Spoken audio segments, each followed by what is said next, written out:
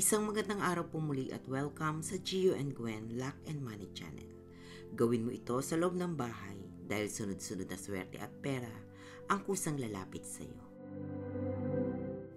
Kung kayo ay naniniwala sa kapangyarihan ng mga ritual at ng mga pampaswerte at nagnanais ka na umangat ang iyong buhay, tuluyang yumaman at matupad ang iyong mga pangarap, ay narito ang maaari mong gawin at gawin mo ito sa loob ng iyong tahanan.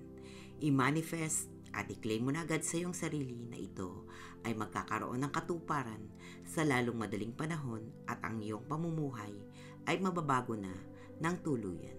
Maaari nyo itong gawin ng kahit na anong araw at kahit na anong oras. Kailangan po lamang na bago nyo ito simulan ay tahimik ang inyong paligid, walang galit at inggit sa inyong puso at positibo ang inyong pakiramdam na ang gagawin ninyong ritual ay magkakaroon ng katuparan. Ang ibabahagi ko po sa inyo ay kung paano isagawa ang space clearing upang maitaboy ang mga negatibong enerhiya na nagdudulot ng kamalasan at upang maakit naman natin ang positibong enerhiya tungo sa tagumpay at kasaganaan sa loob ng ating tahanan. Ang gagawin niyo po lamang ay magsabog ng asin sa inyong main door o front door, sa sulok ng bahay, madilim na bahagi ng bahay, at kwartong walang gumagamit. Hinihigop ng asin ang bad energy na namamahay sa mga sulok at madidilim na lugar. Magsimulang pumalakpak sa entrance ng bahay habang kayo ay nakasquat. Kailangan mong nakaupo upang ang tunog o sound mula sa pagpalakpak ay aabot sa ilalim at gagalaw paitaas. Tumayo at ipagpatuloy ang pagpalakpak habang naglilibot ka sa buong bahay.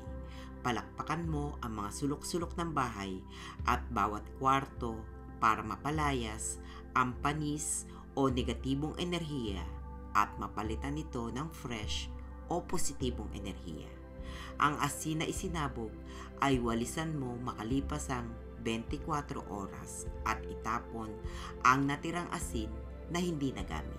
Maari nyo itong i-flush sa inyong toilet o kaya naman ay paagusan sa tubig sa inyong lababo.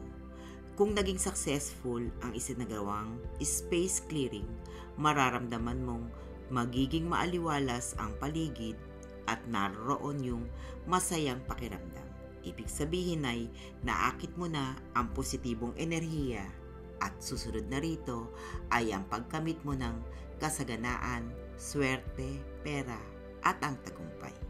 Muli pong paalaala na ang lahat ng ritual o pampaswerte na ating ginagawa ay kailangan nating samahan ng isandaang porsyento ng paniniwala, sipag, tiyaga at panalangin sa mahal na poong may kapal.